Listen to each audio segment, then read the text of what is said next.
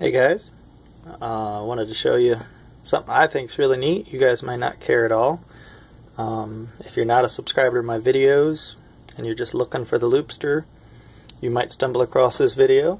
Um, so then you would be interested. So, found this guy at Christmas time. I was looking for some stocking stuffers. Ended up getting this for myself and not my kids. And ever since I've been looking for more and more. Found this with the hands down. And then the other day I found a green one. I'm not going to open my red ones, but I hope to get a bunch more green ones. They link together.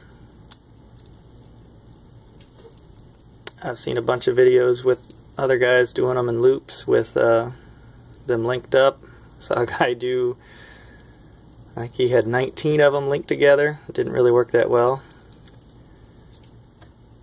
Um, you know, I was always a Matchbox guy because uh, they always seem more realistic to what you'd see driving down the road. Of course, you wouldn't see this driving down the road. That would be cool if you did, though. But after uh, seeing this, I've been going back looking for more and finding all kinds of really neat Hot Wheels that, yeah, I'm buying them too. Don't tell my wife. But, uh, yeah, I thought I'd show it to you. I'm going to be uh, showing a few more videos coming up soon.